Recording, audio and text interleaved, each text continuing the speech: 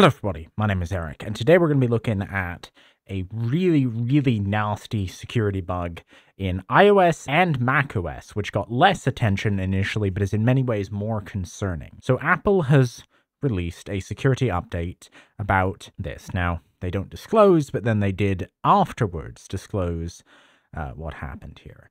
So ImageIO had a vulnerability. Processing a malicious image file could result in memory corruption. This means there was a memory safety error, which ultimately, the result of this is that in an extremely sophisticated attack, this could turn into code execution. And it seems like it has turned into code execution. Seems like that's not just a hypothetical. And also for macOS. Uh, and this is the one document for macOS Sequoia, but macOS Sonoma and Ventura have also been patched. Now, something that is concerning to me, though Apple have not confirmed, is that chances are, because ImageIO has been around for a while, that the vulnerability actually affects older versions as well. So it's possible that if you have an older device that is not capable of running this update, you may be permanently left in a vulnerable state. Now, why is an image IO vulnerability? First of all, let's explain what that does. So image IO is a core piece of iOS and macOS shared code, and this is what lets Macs and iPhones, iPads, Apple TVs, Vision Pro, if you're one of the people who bought one of those, uh, read images. Now, the real danger here is, first of all, yes, as you're thinking, if you open a image that is carefully crafted in your photo viewer, you're in big trouble. But if you think about where images are displayed in macOS and iOS, in some cases, there is a zero interaction way for a remote attacker to get you. Right? You can send an iMessage that contains a text and an image that image can get, although if you enable lockdown mode, it won't get because they this isn't the first time this framework has had a security problem. If you have lockdown mode off and you get a text with an image on both the Mac and the iPhone, that image can be rendered, which means, means it went through ImageIO. So that's why this is such a severe problem. And as Apple does call out, it has been exploited in an extremely sophisticated attack against specific targeted individuals. That probably means a state sponsored attack of some sort.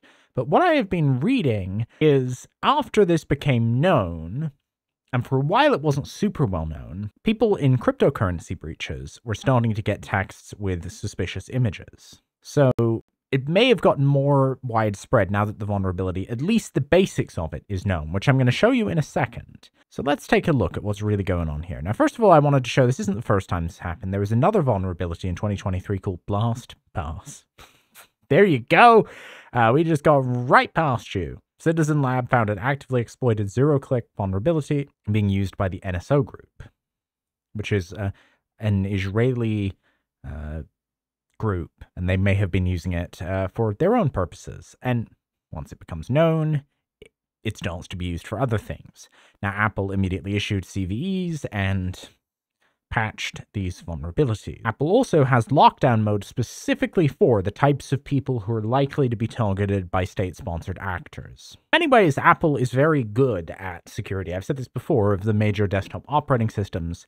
I do think they made some mishaps here. I think for one, the fact that they put kind of buried the macOS vulnerability meant most people thought it was just an iOS problem uh, wasn't great, uh, and the fact that this kind of vulnerability can happen. This is the type of code path you would think you would put the absolute maximum scrutiny, memory safe languages, anything to avoid. So now let's look into the specifics of this vulnerability.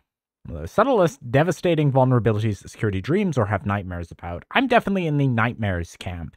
It's one of those things that you would have thought, I would have thought at least a few years ago before I really got into this, no, no, you're crazy. That's not possible.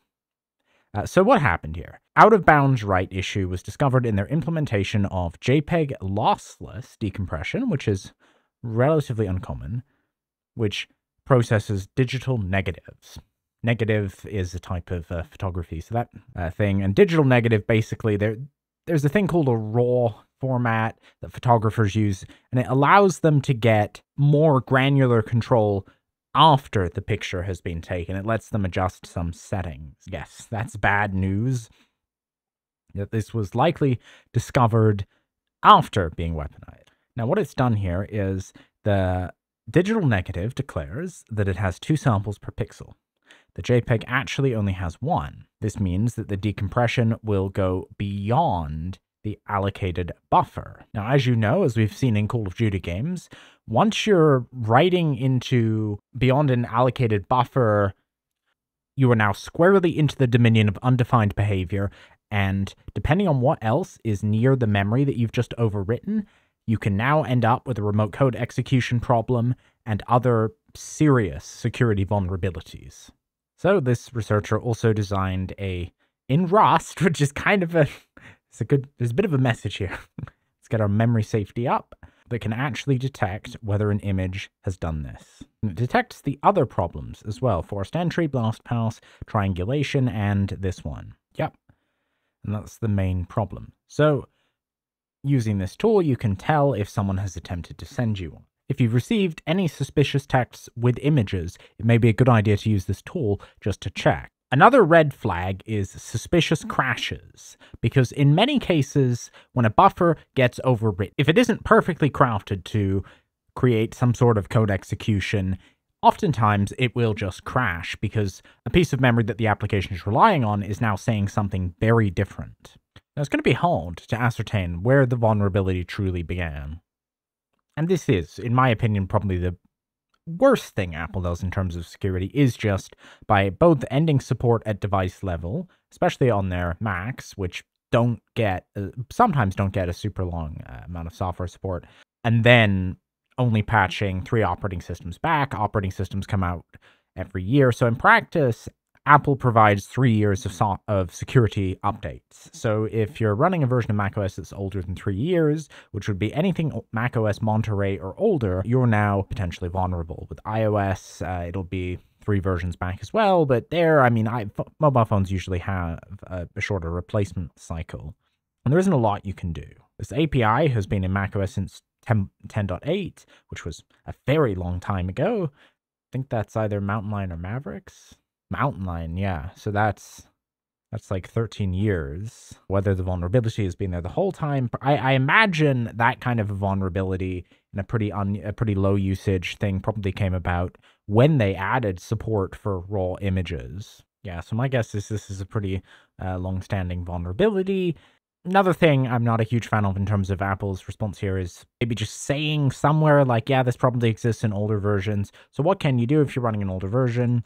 Really nothing because lockdown mode, which does help mitigate this, was also added in macOS uh, Ventura. So you may be able to use unofficial patches to update macOS beyond. I don't think you can do that with iOS. Turning off notifications might help a bit. And of course, depending on what you're using the device for, the nuclear option of just removing iMessage uh, which is the main risk. Uh, there are others, like if you download something uh, in the bottom dock, uh, a preview might pop up.